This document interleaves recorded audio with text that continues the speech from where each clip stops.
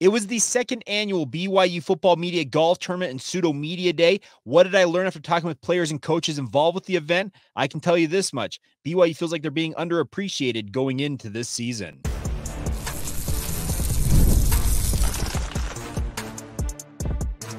You are Locked On Cougars, your daily podcast on the BYU Cougars, part of the Locked On Podcast Network, your team every day. What's up, everybody? I'm Jake Hatch, your host here on Locked On Cougars, resident BYU insider. Thank you for making Locked On Cougars your first listen to the day. And thank you to all of you who we like to call everydayers right here on the Locked On Podcast Network. We are your original daily podcast focused on the BYU Cougars. And today's show is brought to you by our friends over at FanDuel. Make every moment more today with FanDuel as the playoffs wind down. The sports stop sportsing like we want to, but this summer, FanDuel is hooking all customers up with a booster bonus daily. That's right, something for everybody every single day, all summer long. Visit fanduel.com slash locked on to get started today. All right, let's dive right in on today's show. I was out of the BYU annual, second annual uh, media golf tournament. Uh, BYU hosted uh, now in lieu of the fact that they've joined the Big 12 conference and the traditional media day will be coming up on July 9th and 10th down in Las Vegas. But Kalani Sitake has carried this on. And the one thing I can tell you guys is Kalani is very much the, the, the gregarious human being that you see on film. When we talk to him as a media corps, he's the exact same guy you can tell he absolutely loves being the head coach of the BYU football program. But I also will add this in talking with him and in talking with other coaches and players involved with the event, there is a pervasive feeling around this BYU football program that they feel like they've got something cooked up here that they think they can spring on the Big 12 this fall.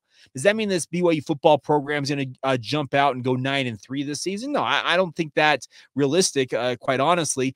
But if they can get back to a bowl and maybe push it to seven wins and heaven forbid eight wins this season, I think that would constitute a pretty impressive turnaround for this BYU football program. I was talking with multiple people involved with the event, and the overall uh, message uh, coming from the coaches trying to motivate their players, and this comes from the strength uh, coaches as well, is that they're being reminded you guys finished five and seven last year. You guys have a five game losing streak going into the season. What are you guys going to do to turn that around? And the response, uh, according to people involved, and let me be honest, it's people uh, that are there in the trenches. So they may be uh, blowing smoke uh, and just uh, making us feel good as a media corps.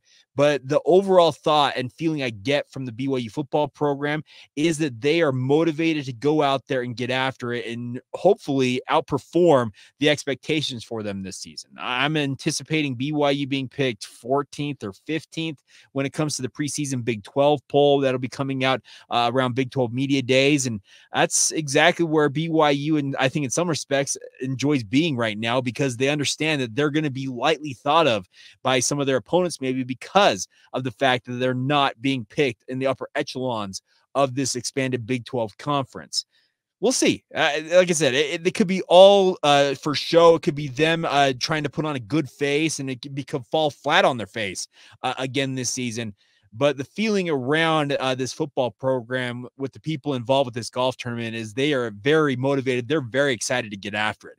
Uh, multiple individuals that I will remain nameless on this front said that they want to start the season right now. They are that motivated to go out and get after it. A lot of these coaches and uh, even the players themselves, the month of July is their chance to, to, really get some downtime, recharge a little bit ahead of the start of training camp, which will fire up on July 30th, if I recall correctly. Uh, but they are looking at this as we want to go right now. We'd love to sh- uh, start up training camp and start the season as soon as possible. So they're chomping at the bit. And that is, I think, something you can uh, take to the bank that uh, across this program, they understand what they're up against. They know what they're facing. They learned some really, really tough, but good lessons year one in the Big 12 last year, and they'll carry those forward into this year. Now, uh, some of you may have seen BYU teased uh, New Jersey. They'll be coming out to celebrate the 100th year of BYU football. Uh, despite my best efforts, I was unable to unearth or get, uh, get any type of tidbit on what it was. I was told multiple times, you just have to wait and see what it looks like. So maybe that's the players haven't seen it yet. I, I don't know, but uh, I, I wish I could pass anything along on that front, but I was unable to. The other thing I learned in talking with people around the program is that this is a program that absolutely wants to get it right. And what I mean by that is they want to get it right in all facets. That's winning on the football field, that's recruiting at a very high level. I had a chance to catch up with a number of players and coaches, and including a 11 plus minutes one on one with Kalani Sitake that will run in future episodes here in the relatively near future. So stay tuned for that. But the conversations uh, with Kalani and others indicate to me that this is a football program. They're not trying to uh, over exceed expectations just this year and then fall back. They want to build this thing into something that's sustainable. Kalani is coming up on his 10th year, his 10 year anniversary, a decade as BYU football head coach. He also noted that his freshman year at BYU was 30 years ago in 1994 before embarking on a mission for the Church of Jesus Christ of Latter day Saints. And he is a guy that is a BYU guy through and through. And that is a really, really nice thing to have for the Cougars. I understand that there's some angst around this football program and Kalani and a lot of angst directed at Aaron Roderick and the offensive staff because of the falter, the, the well, the overall faltering of the offense a year ago. But they are intent on getting it right here. And what, what is right ultimately going to be? Well, that's in the eye of the beholder. Could be why you go out and put up 450 yards and 40 points a game this year. And uh, some Cougar fans say, well, that's not enough for me. Uh, maybe so. But uh, they know what they're facing in the Big 12. And I mentioned it just a little bit ago. They learned a lot of good lessons year one in the Big 12, and they're going to use those to be better here in year two. Uh, other things, the Cougars are uh, uh, getting after it in recruiting. Uh, some of you may have seen that Austin Pay made a surprise official visit to BYU over the weekend. I had a chance to, to catch up with Connor. I said, Hey, your brother decided to go on an official visit all of a sudden to BYU. Said it's a last minute decision, quite literally last minute decision. Uh, Austin passed on an opportunity to go visit an SEC school down in the southeastern part of the country and decided, you know what, I'm going to take my official visit right now and got down to Provo as part of that uh, a, a really, really expanded official visit weekend over uh, the previous weekend and the conversations that Austin had with recruiting gurus out there says that BYU is one of his top schools.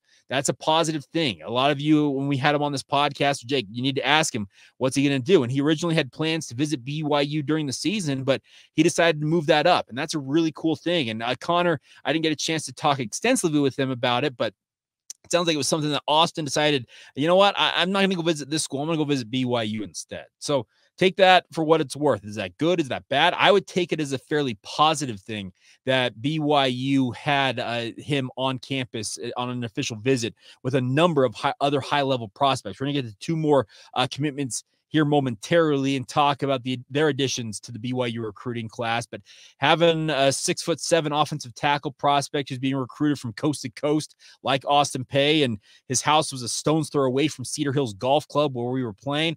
It's a really cool thing to see that uh, go down. How did the golf go? Uh, pretty good, uh, quite frankly. I played on a team with KSL Sports Zone. Uh, we shot a 59, uh, so we finished in third place uh, behind Hans Olsen and the BYU broadcast team. Mitchell Juergens, Greg Wrubell was unable to attend, so they beat us out in the scorecard playoff. But hey, at the same time, really, really fun event. And Kalani he is an incredible human being. He referred to LaVell Edwards multiple times in the comments he made to all involved with the tournament. And during the luncheon we had afterwards, he talked about how LaVell had uh, cultivated and uh, nourished really, really good and important friendships with the media. And something that he's endeavoring to do. And I, I can tell you, just based on the limited interactions I've had with Kalani in his now ninth year as the BYU football head coach, he is following that same course. He is a guy who, yeah, eh, he he appreciates when we obviously praise his program, but he also doesn't take offense when we call a spade a spade. That's one thing a lot of coaches they do not, they do not, excuse me, like having uh doomsayers or people that uh, tell it how it is about their program.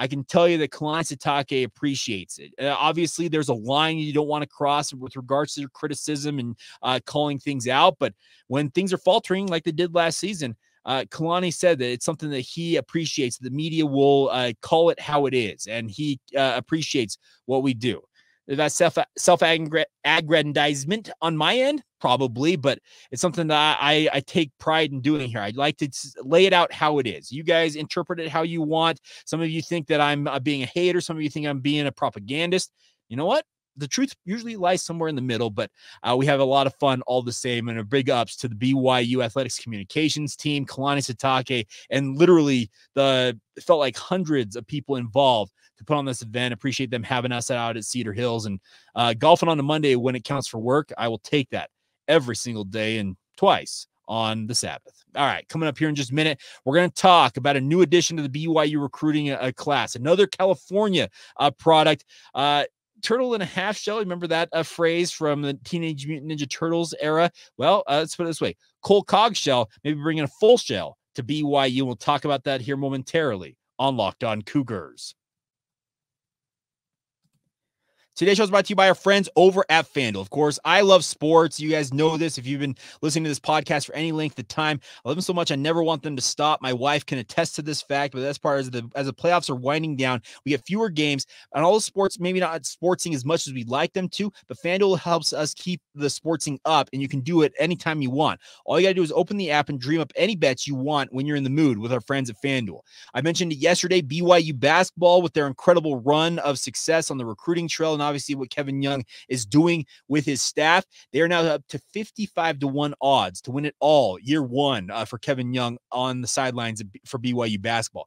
You want to take advantage of that opportunity? Get over to fanduel.com and place your bet now. You also can take the over under on BYU football at four and a half wins with our friends at FanDuel. So the best part is all summer long, FanDuel is hooking up all customers with a boost or bonus every single day. That's right. There's something for everybody every day, all summer long. Head to fanduel.com slash locked on and start making the most out of your summer with our friends at FanDuel. Once again, that's fanduel.com slash locked on. And it's all courtesy of FanDuel, an official sports betting partner of Major League Baseball.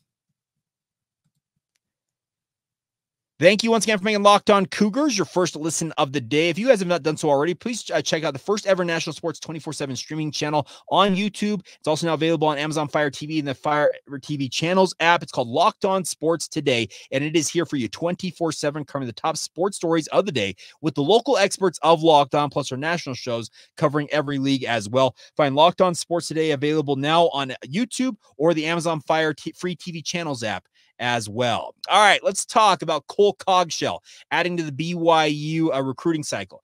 I said this on Friday, heading into this recruiting uh, weekend for BYU, that I wanted to see them convert. They were having somewhere 13 or 14 official visits.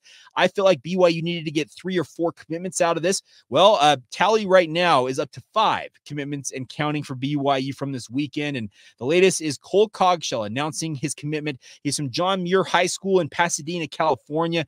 And the one thing about Cogshell. He's a similar uh, type of prospect, albeit defensively, to what we talked about yesterday with Ulavai uh, Fetuli. Now, Ulavai is a multi-sport athlete, played both offense and defense, but uh, figures maybe to play on the defensive line for BYU. Well, Cogshell is a, a born and bred edge player uh, for BYU to bring into this class. Six foot three, 240 pounds. So he's already got the requisite weight as an edge player.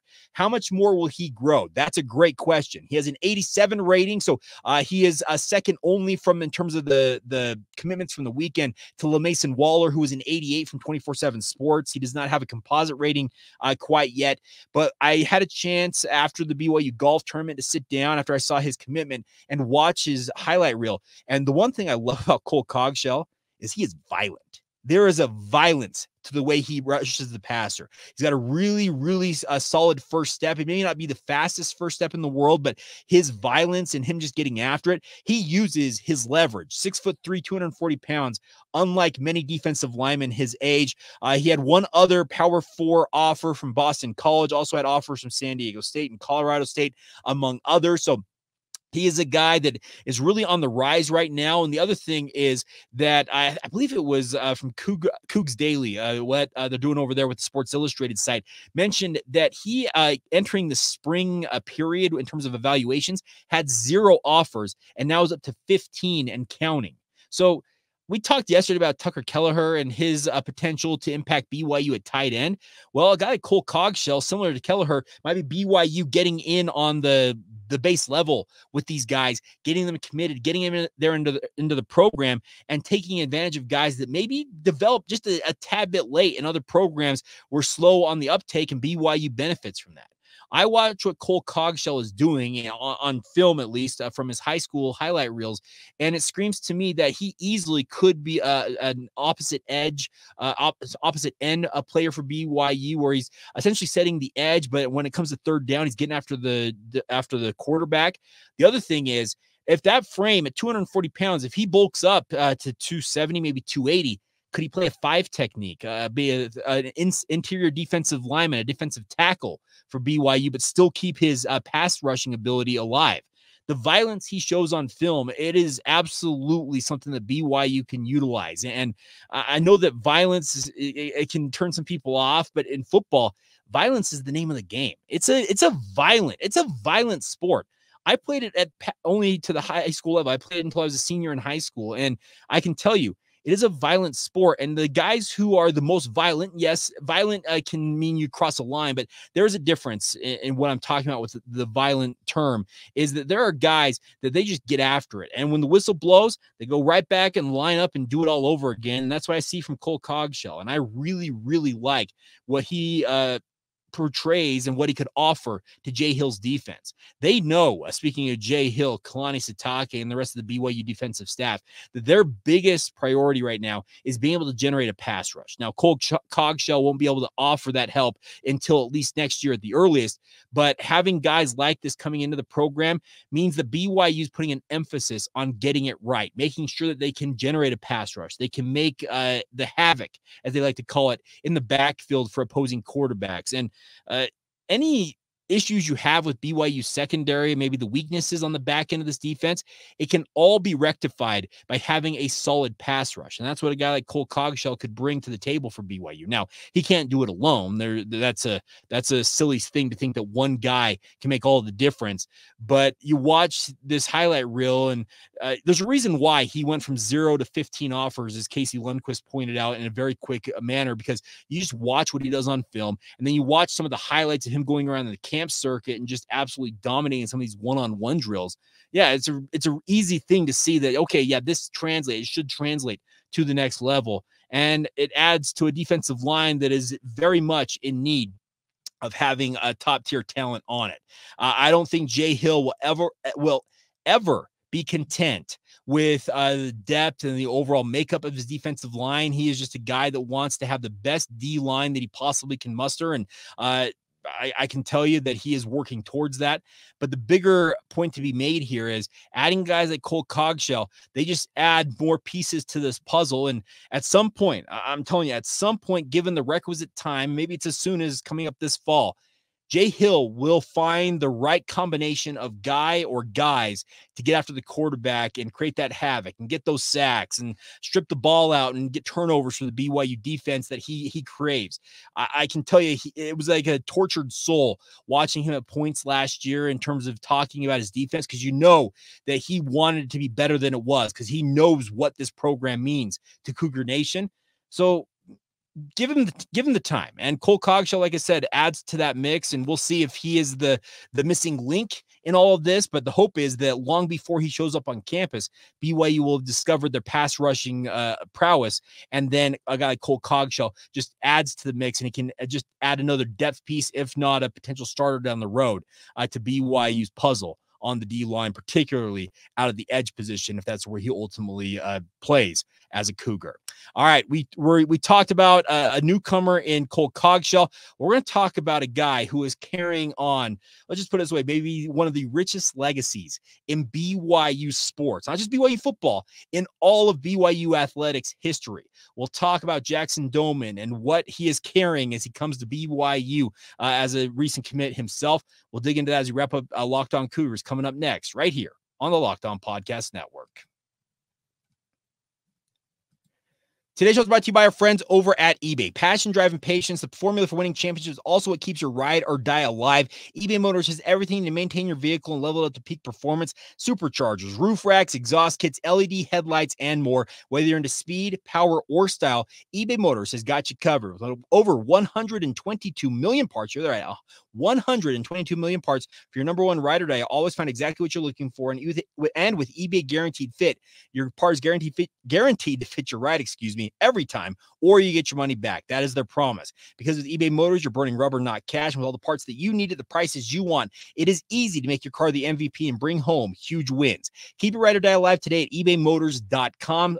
Of course, eligible items only. Some exclusions may apply. EBay Guarantee Fit is only available to U.S. customers. We get started today once again at ebaymotors.com.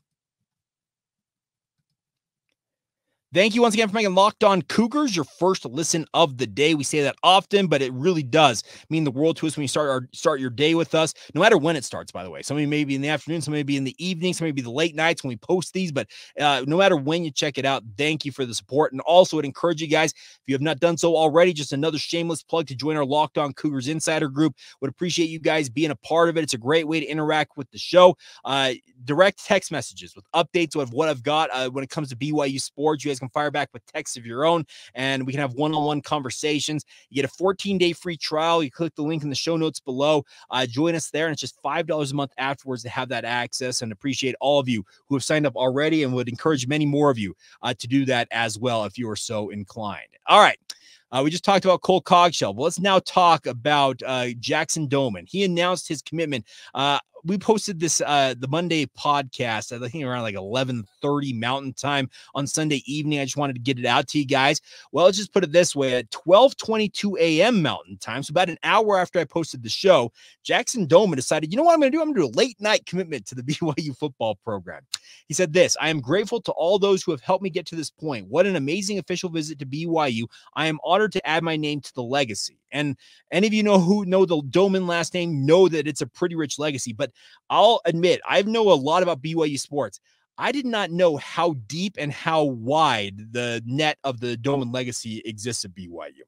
22, count them, 22 members of the Doman, the Greater Doman family, have participated in different sports at BYU. Obviously, the most of them uh, that you will remember, like Brandon Doman and Sean Doman, the, the Doman family of football players, Cliff Doman, Bryce Doman, and all that. But it started with Juan Whiting, who's a basketball player, and he is, uh, I believe, Jackson Doman's his great grandfather, if I recall correctly. So it spans 22 members of the Doman clan, and Jackson Doman adds his name to that illustrious list. It's an incredible thing. We're talking wrestling, football, swimming, volleyball, basketball. It's it is insane to look at the names on this list and it just it screams that there are families that are like the they can claim this to be the first family of uh, anything with regards to whatever they do the Doman family may very well have the argument of being the first family of BYU athletics. Now, there's some other families out there who like to have a word on that. I'm sure the Kafusi clan and the like. But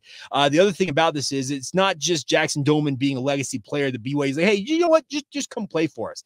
He's got some game, folks. We talked yesterday about Tucker Kelleher at tight end. Well, let's put it this way: Jackson Doman is all a six foot six, just like Kelleher, and I think Jackson Doman may be even more. Um, polished right now as a tight end, uh, but he also offers two way upside for the Cougars. He played both ways for Canby High School uh, out of the Pacific Northwest. He's from Oregon originally. He is an 87 rating as well, so he matches Cole Cogshell. So uh, if you're looking at it, if you're keeping track at home, an 88 and 87 and 87 and 86 and an 85 from this weekend in terms of the commit the 24 7 uh, sports rankings for these players.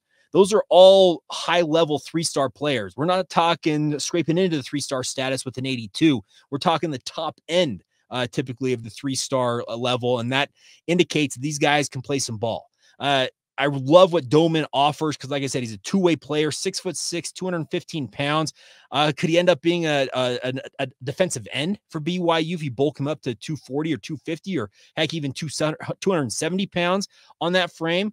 But the, the other thing about it is, is you look at all of the the family legacy he's got, the Doman genes, they're gamers.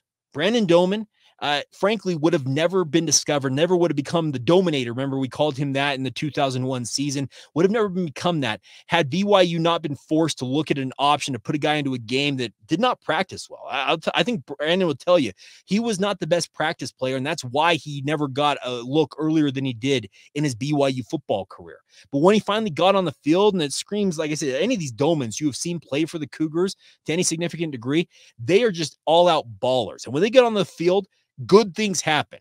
That's the one thing about Brandon Doman. I'm expecting that Jackson Doman here will add that uh, to the Doman legacy. He will bring it to the Cougars. Now, I understand he is planning on serving a mission for the Church of Jesus Christ of Latter Day Saints before embarking on his BYU football career. But uh, the sooner he returns to BYU, I think the Cougars will be better for it. Obviously, you can plan on seeing him. If he leaves in 2025, expect to see him back in 2027. And crazy thing is, is his career plays out at BYU the next BYU media right still in the Big 12 could already be signed by the time he wraps up his BYU career. Think about that 2031, 2032, depending on a redshirt year there. Uh, but Doman, uh, he is the highest rated of the uh, tight ends that BYU has committed right now. If you include Blake Bryce, Tucker Kelleher, and even Ulavai uh, uh, Fetuli in that mix uh, Kevin Gilbride's doing work, and he wants apparently tall, rangy athletes at tight end. And I think he has seen the transformation of what tight ends are at the NFL level, and he wants to bring that to BYU. Now, I, I know that Kevin Gilbride, having played at BYU, knows the legacy of BYU tight ends in and of itself, but uh, it's really cool to see guys like Jackson Doman getting to live their dream. And uh, it was cool to see him. Remember, he was offered by the BYU staff under uh, Sitake before the changes happened uh, with Steve Clark as the tight ends coach. Well, Kevin Gilbride came in, went up and visited him in Oregon and reaffirmed that he had an offer. And now uh, Doman uh, takes the opportunity to land with the Cougars. And now BYU's official a list of commitments for the 2025 class is 12 players deep. Uh, you've got Tyler Payne out of Weber High School, uh, Nolan Keeney, also from Oregon, running back Kel Breslin uh, from Nevada. Uh, geez, go down this list. It's it's extensive. Offensive tackle, oh, no, excuse me, that's not offensive tackle. He's a defensive lineman, Kalepi Vete. His brother, Seal Sua, I was looking at uh, the Vete last name. Seal Sua is an offensive tackle. We'll see if BYU can flip him. Edge rusher, Sale Fano, uh, punter Will Walker out of Riverton High School, and also LaMason Waller, Kelleher, Ulavai Fetuli, and they also had Blake Bryson Tuck uh, and uh, the, the rest of the crew uh, to that mix. So it's a solid, solid recruiting class right now. It, can it get better? Absolutely. And BYU, remember, last year they recruited at a very uh, decent level throughout the entirety of the cycle for, for BYU. But remember, they closed extremely well. Faletau Satuala and the rest of those guys who were committed essentially in the last month and changed for BYU ahead of National Signing Day pushed BYU to their highest ever ranking under Kalani Sitake in those uh, recruiting rankings from 24 7 Sports, inside the top 50. I have said it on this podcast once. I'll say it again. If BYU wants to be a player in the Big 12 conference, they've got to be recruiting inside the top 40, ideally on an annual basis. Obviously, getting inside the top 25 would be an incredible thing, but the way that BYU has proven they can uh, get production and develop guys from a three star status, and like I said, get uh, four and five star production out of them. Getting inside the top 40 is the goal right now. Can they close well enough on this recruiting class to do that this year? Time will tell because obviously they're going to have to win more recruiting battles in the months leading up to early signing day and obviously on into February next year when National Signing Day takes place. But they're on a good track right now. They're uh, currently in the upper, no, the upper 60s, they're the low 60s. Last I checked, I think it was 61. Uh, but those are always fluctuating with 24 7 sports. But uh, they're trending up and up and up. And that is a positive if you're a Cougar fan. And I should also add one more thing. Uh, congratulations to Cole Cogshell as well as Jackson Dome home. And it's cool to see guys living their dream as they commit to the school of their choice. And in this case, it's the BYU Cougars. All right, that is going to do it for this Tuesday edition of the show. Like I said, I've got a number of interviews I stacked up, uh, talking with Kalani Sitake one on one. Also had chats with Gary Bohannon, Jake Retzlaff, Cody Epps, uh, Jack Kelly. So Got a lot of interviews will be coming your way and coming uh, podcast. So stay tuned for that. And obviously, a big thank you to all of you for your continued support of the podcast here. big thank you to all of you who make it your first listen of the day. And obviously, to all of you who are everydayers as well. Cannot say we appreciate you more than we already do, but really do uh, want to thank you guys for supporting us here on the Locked On Cougars podcast.